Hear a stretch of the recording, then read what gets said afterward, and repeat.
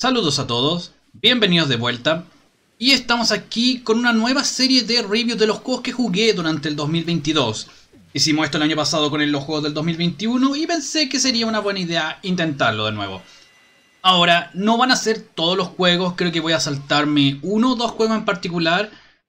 Y estos videos van a salir un poco más lentos de lo que me hubiera gustado. Simplemente no me di el tiempo para poder trabajarlos durante eh, el 2022, así que aquí estamos. Y el primer juego del que tenemos que hablar es Pokémon Legends Arceus. Y esto va a ser complicado porque tenemos otro juego de Pokémon más adelante del cual hablar. Y es posible que repita algunos puntos sin darme cuenta, pero voy a tratar lo mejor de que cada review sea su propia eh, serie de ideas, básicamente. En el lado técnico, se puede decir que Arceus logra su cometido. No es nada impresionante, pero sabe utilizar sus gráficos para darle el estilo de que estamos en el pasado, con un... Em, estilo bien similar a Okami, con los colores más eh, pálidos, se podría decir. Eh, un tono más como de pintura japonesa antigua, en cierta forma.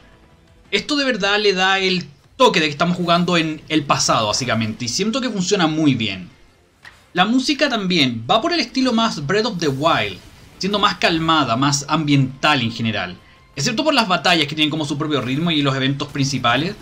Pero en general, la música es algo que no te pones a pensar mucho en este juego. Es algo que te relaja mientras vas eh, avanzando por las diferentes áreas. Y se disfruta, honestamente. Si hay algo que el juego hace muy bien, es simplemente ser un juego relajante, en mi opinión. Y hablando del mundo y lo relajante que es, eso es lo principal que tenemos que hablar ahora. Este es el primer juego que Pokémon intenta hacer un mundo abierto. La octava generación tuvo zonas abiertas, pero no full abierto. Y Pokémon Legends Arceus es como el penúltimo paso, con eh, Scarlet y Violet siendo el gran final, se podría decir. Aquí deciden ir por segmentos abiertos como Monster Hunter lo hace, donde tienes una zona de playa, una zona de montaña, una zona de volcán, una zona de pantanos, etc. Y cada área es bastante grande eh, y puedes explorarla básicamente al ritmo que a ti te dé la gana. Y lo hace bastante bien.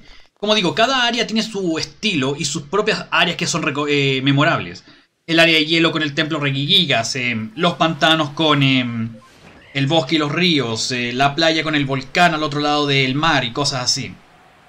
Pero más importante que eso, que tener diferentes partes memorables que es importante, el juego hace bien en hacer este mundo disfrutable de explorar.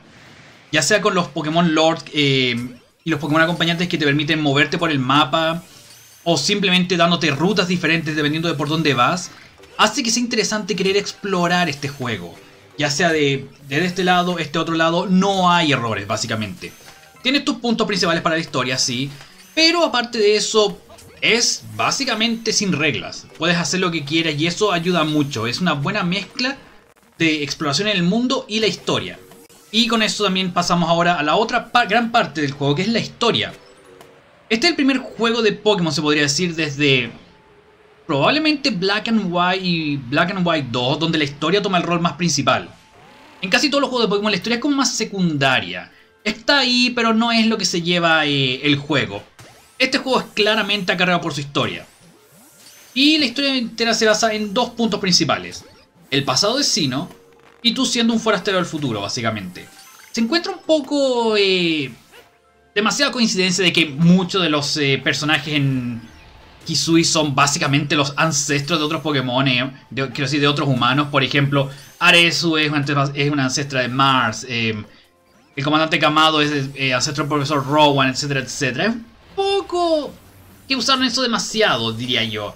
Pero es algo que se, es un nitpick, básicamente. Y la parte de que tú eres el causante de todo esto, no tenemos evidencia sólida, así que vamos igual a echarte porque eres el forastero. También es cliché, pero funciona. La historia hace su cometido y te mantiene interesado en qué es lo que está pasando. De a poco vas también conociendo a estos personajes y cosas así. Y para un juego donde no habla el protagonista, es increíble que igual se entiende bien la historia. Uno creería que no es posible, pero lo es. Eso es súper bueno y, como digo, eh, la historia aquí toma un punto más, eh, se pone un, un paso más adelante del gameplay mismo. Pero el gameplay no se queda atrás y eso es lo que tenemos que hablar ahora también, que el gameplay de Arceus es probablemente lo más experimental que Pokémon ha hecho en décadas. Eh, en vez de un enfoque de solamente en los Pokémon y en el equipo que llevas, tú eres también parte de este enfoque. En otros juegos se podría decir que el protagonista es básicamente un avatar que camina y actúa y activa todo lo demás. Aquí eres un personaje como se debe. Puedes ser atacado, puedes perder, puedes perder tus objetos en ese momento. Tienes la habilidad de poder esquivar ataques de los Pokémon, lanzarle objetos para eh, aturdirlos o debilitarlos y poder escapar o capturarlos. Es increíble cómo este juego permite capturar varios Pokémon en secuencia, como pueden ver en el gameplay, sin mucho problema. O si quieres enfrentarlo en un combate también es posible. Creo que eso es como lo único que me quejaría en parte, y es un nitpick muy muy eh, obvio. Me hubiera costado un poco más de batallas en el juego. Siento que las batallas son muy pocas y no aprovechan el sistema de combate que tienen con Strong Style y Agile Style. Pero es claramente eh, que no es el foco. El foco es la historia, es la exploración del mundo, es hacer que la región Hisui se sienta como un mundo de verdad. Donde los Pokémon son animales que están rondando por las áreas, tienen sus hábitats, eh, sus comportamientos en manada, etcétera, etcétera.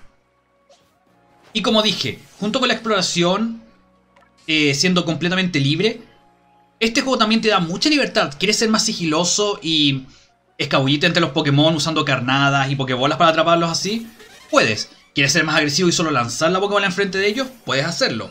¿Quieres aturdirlos con algún objeto y luego atraparlos? Puedes hacerlo. ¿Quieres enfrentarlos y luego atraparlos? También se puede. No hay eh, eh, mala forma de jugar este juego, básicamente. Y eso es algo que siempre debería ser la meta de cualquier juego que ningún jugador sienta que está cometiendo un error con sus decisiones. Y este juego es un buen ejemplo de eso. En resumen, se puede decir, ya, Pokémon Legends Arceus es experimental, claramente eh, no funciona al 100%, y muchos cambios como, ¿por qué hicieron esto? ¿Por qué hicieron esto otro? O no se ven muy bien a primera vista. Pero todos son bienvenidos en mi opinión, y espero que Legends se quede como una subserie de Pokémon. Mientras tenemos los juegos principales, los remakes, Quiero que Legends se quede como la tercera gran franquicia de Pokémon, por así decirlo. El tercer gran em, línea de juegos. Porque tenemos muchas opciones así. Legends Ho-Oh para el pasado de Yodo. Legends Kyurem para el pasado de Unova. Eh, Legends Floet para el pasado de em, Kalos, etcétera, etcétera. Hay muchas posibilidades aquí, una gran cantidad de historias que pueden contar y eso simplemente va a hacer más interesante el mundo de Pokémon. ¿De verdad fue inesperado Legends Arceus? Y desde el lanzamiento, admito que tuve mis dudas aquí y allá con algunas partes del juego, pero es claramente un buen paso para Pokémon y espero que esta serie eh, se quede. Y ese es básicamente el primer eh, review de aquí. Espero tener los otros listos más o menos en los próximos meses. No quiero eh, pasarme de abril con estos reviews, tengo que admitir. Gracias a todos por estar aquí. Y como siempre pueden verme aquí o en mis streams en twitch.tv slash GameMasterTom. Cuídense.